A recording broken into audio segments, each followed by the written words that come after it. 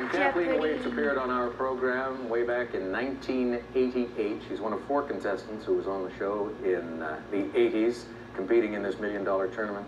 She turned out to be a very generous lady and gave half of her winnings to a charity here in New York State. Tell us about that. Yes, I um, was living in Albany, New York at the time and uh, gave a portion of my winnings to uh, help start a battered women's shelter in uh, Albany, New York. Good for you.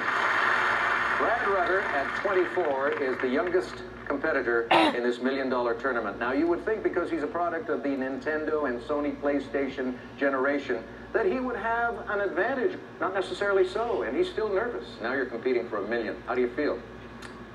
Petrified, Alex. Really?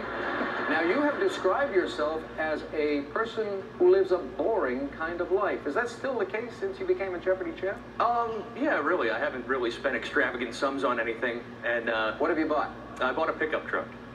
Okay, that's Brad. Now, you were a music critic, Claudia. Now you've moved into sports. You're a copy editor in the sports department. Yes, I am.